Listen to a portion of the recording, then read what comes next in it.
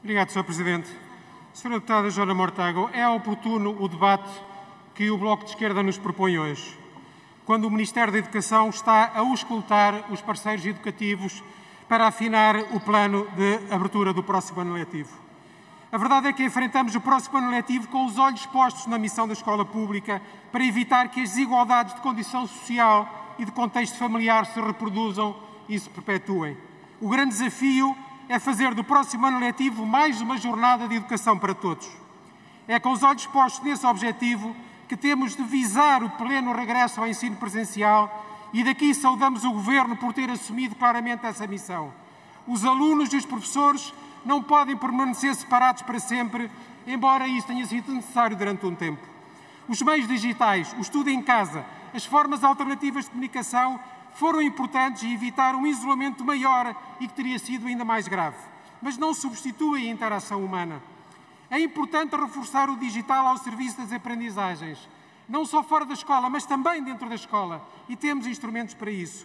Não são só os equipamentos, é a conectividade móvel, é a capacitação para alunos docentes, formadores e técnicos, é a aposta em novos recursos educativos digitais de qualidade, é a tarifa social de acesso a serviços de internet, é a inclusão digital de adultos, é, em suma, um vasto programa de democratização do digital. Mas o digital é uma ferramenta, não é um substituto do presencial. Sempre soubemos isto e sempre o dissemos. Porque importa fazer do próximo ano letivo uma caminhada de educação para todos saudamos o Governo por já ter fixado claramente o objetivo de investir, desde o início do ano letivo, na recuperação das aprendizagens. E temos as ferramentas para isso. Com o perfil dos alunos já saídos da escolaridade obrigatória, com as aprendizagens essenciais, graças às quais não vamos obrigar os professores a pôr o cumprimento dos programas demasiado extensos e rígidos à frente das aprendizagens dos alunos. Com a autonomia e flexibilidade curricular, com os planos de inovação pedagógica, com as tutorias, temos as ferramentas para fazer o que é preciso.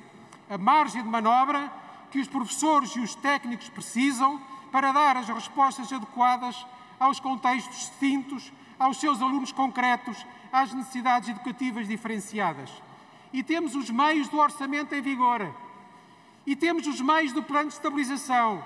E temos os meios do plano de ação da, da, transição para o digital, porque não existe só o orçamento suplementar. Não existe só o orçamento suplementar. Nunca existiu só o orçamento suplementar. Ninguém pode saber. Ninguém pode saber como será o mundo daqui a três meses. E teremos sempre de respeitar as orientações das autoridades sanitárias.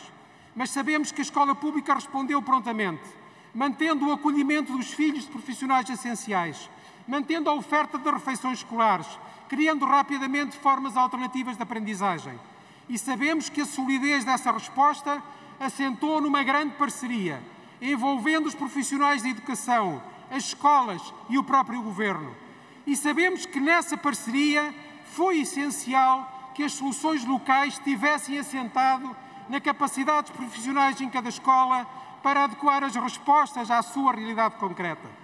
Por isso lhe pergunto, senhora deputada, em relação ao projeto de lei que apresentam e que é o contributo do Bloco de Esquerda para este debate, pergunto sobre esse projeto de lei.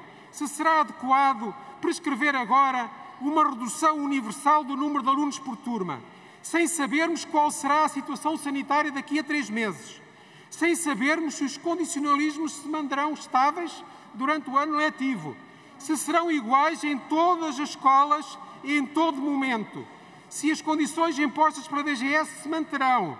Portanto, sem podermos antecipar de forma tão genérica as necessidades reais da renovação dos grupos de alunos. Termino, Senhora Deputada, perguntando-lhe. Termino, Sr. Presidente. Senhora Deputada, quando neva em trás dos montes, não se encerram escolas no Algarve. Por isso lhe pergunto se não será melhor deixar às escolas as condições para responderem especificamente à sua situação concreta, que poderá ser muito diferente escola para escola e variar de uma semana para outra, em vez de antecipar já um padrão nacional? Muito obrigado.